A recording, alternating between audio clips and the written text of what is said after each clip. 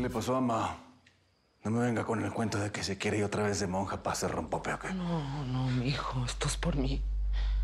Yo, yo necesito estar sola, quiero, quiero tratar de sanar algo de esta vida que nos tocó, si es que todavía se puede.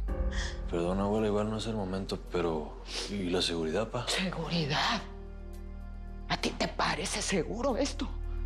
Que nos ataquen, que vengan a humillarnos los del gobierno cuando se les pegue su mendiga gana. No, yo ya no tengo nervios para seguir con esta vida, no. Menos cuando veo lo que le están haciendo a estos niños. Doña Alba, los niños están muy bien con usted. Y si se va, la van a extrañar mucho. No, amiga. Esos niños extrañan a sus padres. A ti.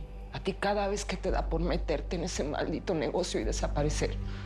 Y yo soy la que tiene que acostar a ese niño todas las noches y prometerle que su mamá va a volver.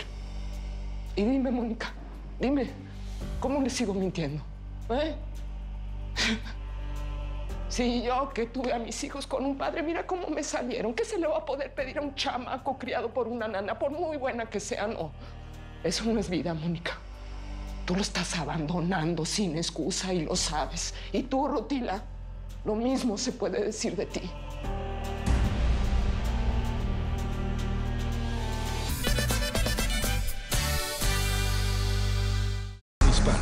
Voy a matar como un perro. A partir de este momento, empezamos de nuevo. ¿Qué se creen? ¿Que no hay Señor de los Cielos para rato?